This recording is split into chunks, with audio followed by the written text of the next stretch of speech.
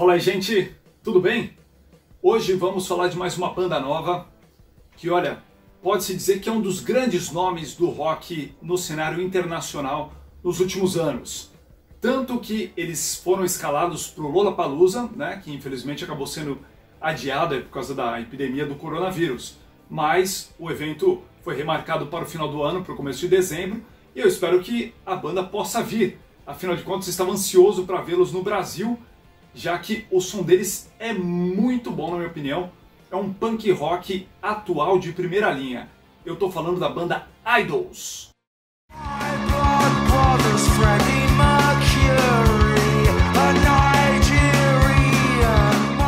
O Idols é uma banda com cerca de 10 anos de história, mas que começou a lançar discos bem mais recentemente. O primeiro disco deles saiu apenas em 2017, portanto, faz só 3 anos que eles lançaram Brutalism que já fez um relativo sucesso, mas trazia um punk rock um pouco mais cru.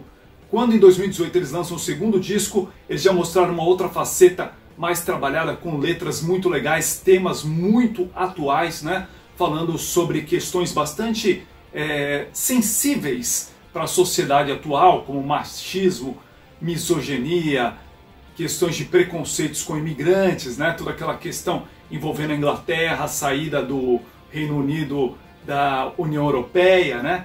E eles, como uma banda tipicamente inglesa, se posicionaram aí com essas questões, o que certamente gerou muita polêmica, mas também uma verdadeira adoração pela banda, né? Tanto que a gente vê nos shows deles são verdadeiras catarses, assim, é uma banda que se entrega de verdade.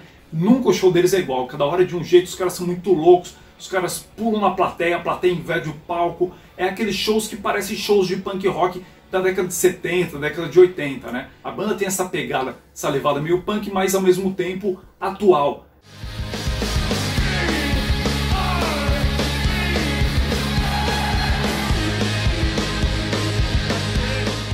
Idols, quando eu escutei a primeira vez, isso foi no ano passado, eu coloquei o último disco que eles tinham lançado, só tem dois até agora, né?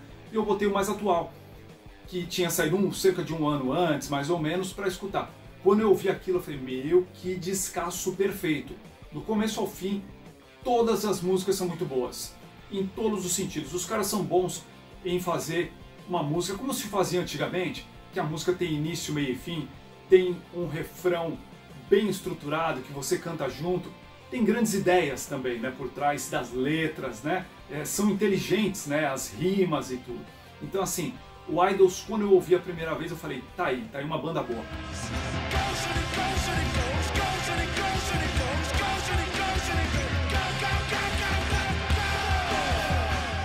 Primeiro disco deles, o Brutalism, saiu em 2017. Ele é um pouco mais cru, né? O primeiro disco, como qualquer maior parte dos primeiros discos, são um pouco mais, mais crus, depois a banda vai refinando. Claro que existem exceções, né? Agora, o segundo disco já tem, traz uma evolução na musicalidade da banda e isso fica bem claro. Tanto que esse disco já fez um grande sucesso aí em todo mundo, os caras já ganharam prêmios e tal, e isso se refletiu também na crescente popularidade da banda, tanto que os caras foram escalados para vir aí para o Lollapalooza, o evento acabou sendo adiado, mas eu acredito que eles vão manter a banda no cast, né? já que, na minha opinião, era uma das grandes bandas, uma das grandes promessas para fazer um showzaço no festival e eu espero que isso aconteça quando o festival acontecer agora em dezembro, né? Fora que eles devem fazer outros shows no Brasil, eu espero que façam, porque mais gente merece ver a apresentação do Idols, porque é uma bandaça e isso você pode assistir aí na internet em vários vídeos deles e ver o quanto é legal, além de escutar, é claro, né? Mas já recomendo que ouça os discos, principalmente o segundo, Joy's an Act of Resistance. Eles que surgiram lá em Bristol, que é uma cidade ali no sudoeste da Inglaterra, bem pertinho do país de Gales, e por isso tem um sotaque todo característico, né? Muito legal de ouvir o sotaque deles, às vezes até difícil de entender o que, que eles estão cantando, né? Aí você pega a letra e fala, putz, era isso. E isso ainda é mais legal, né? dá uma característica ainda mais interessante no trabalho deles, torna mais peculiar, né?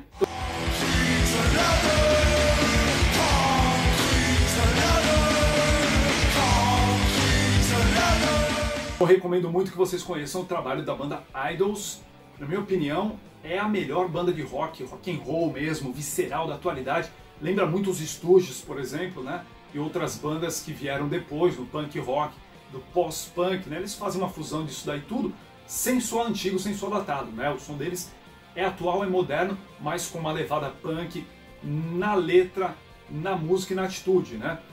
Então eu digo, na minha opinião, melhor banda do momento, dividindo ali com os The Struts, que eu gosto muito também, já falei muito sobre eles, mas o The Struts é um pouco mais pop, né? O Idols é uma banda mais rock and roll nesse sentido assim, da pegada punk rock. Então recomendo aí Idols, qualquer hora eu faço um vídeo para falar do The Struts também. Valeu?